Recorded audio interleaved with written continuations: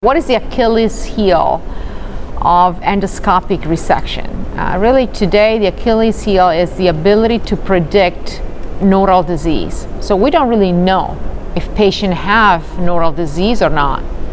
Um, but we, we use tumor features, tumor characteristics to estimate the risk of nodal disease.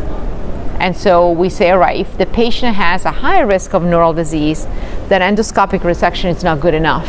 We need to do a more aggressive approach like esophagectomy. But if the patient has good um, features and so a low risk of nodal disease, then you know endoscopic resection is good enough. So I think the future will be to really understand how can we identify patients that actually have nodal disease without having to predict the risk.